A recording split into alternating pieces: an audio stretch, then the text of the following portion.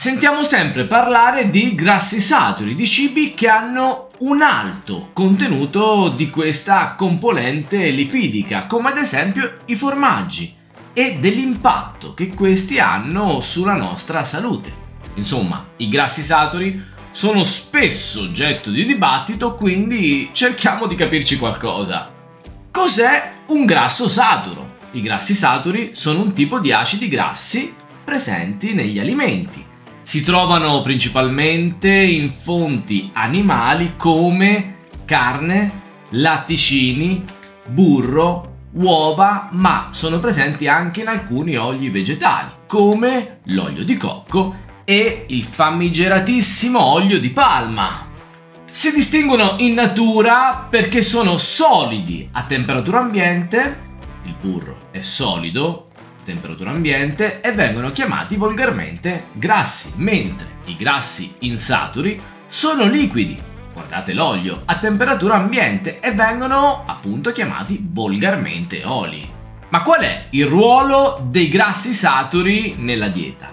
I grassi saturi sono una fonte concentrata di energia e svolgono diversi ruoli nel nostro corpo che magari con un altro video andremo a scoprire ed approfondire. Tuttavia un consumo eccessivo di grassi saturi può avere effetti negativi sulla nostra salute. E quali sono questi effetti negativi? Cerchiamo di capirci. I grassi saturi possono aumentare i livelli di colesterolo LDL nel sangue, spesso chiamato colesterolo cattivo, ed è il colesterolo che va dal fegato ai tessuti. Però non è proprio cattivo come si dice, perché una certa quantità di colesterolo il nostro corpo la richiede, le nostre cellule richiedono il colesterolo perché il nostro corpo riesce dal colesterolo a produrre gli ormoni steroidei e le cellule utilizzano il colesterolo per la uh, formazione, ovvero il colesterolo partecipa alla formazione delle membrane cellulari ma è un alto livello di colesterolo LDL ad essere cattivo. Questo perché? Perché è associato ad un aumento del rischio di malattie cardiovascolari. Quali sono queste malattie cardiovascolari? Possono interessare il cuore, come l'infarto, o il cervello, come l'ictus. Quindi un alto livello di colesterolo LDL può provocare processi aterosclerotici. Quindi bisogna tenere sotto controllo l'assunzione di grassi saturi. Nonostante i potenziali effetti negativi, non è necessario eliminare completamente i grassi saturi dalla nostra dieta. La chiave dove sta? Sta nel moderare l'assunzione, cercare di fare delle scelte alimentari equilibrate. Alla fine, gira che ti rigira, non dobbiamo evitare nessun cibo, è sempre la quantità a vincere. Quindi non demonizzate né i formaggi né i salumi eh, né nessun altro cibo. Nessun cibo nelle giuste quantità fa ingrassare o fa male. Ok, adesso cerchiamo di capire come limitare con l'alimentazione questi grassi saturi. Ok, una parte positiva perché è utile al corpo, però è sempre meglio abbassare i rischi cardiovascolari, quindi limitare l'assunzione di tali cibi. Per ridurre l'assunzione di grassi saturi è possibile optare per alternative più salutari.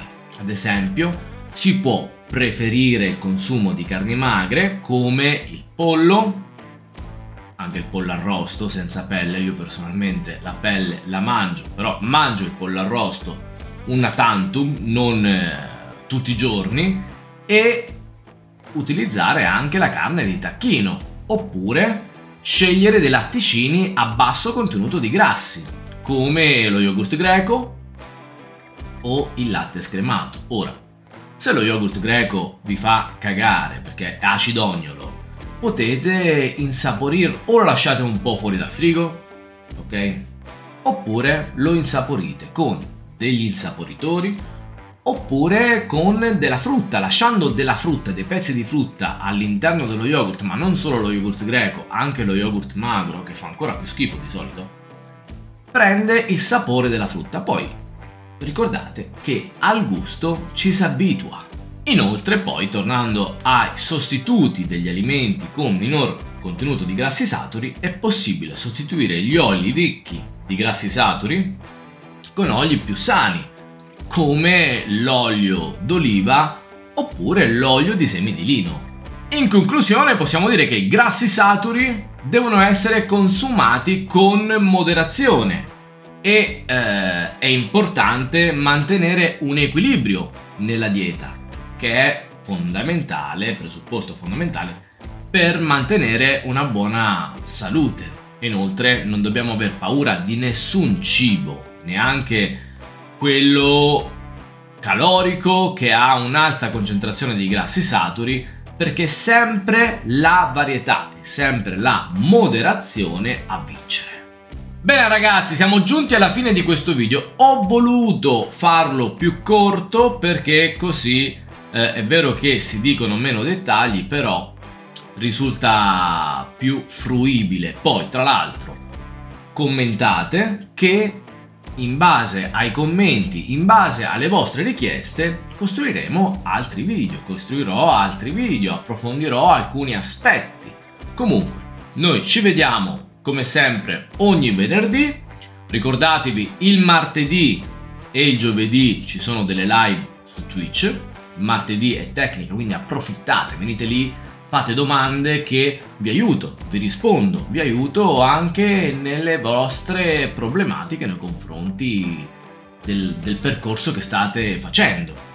E che dire, mi raccomando, sempre il like che non vi costa niente ma per me è importante per capire il lavoro che sto svolgendo, il commento come detto mi aiuta a capire in che direzione andare, magari se approfondire alcuni aspetti.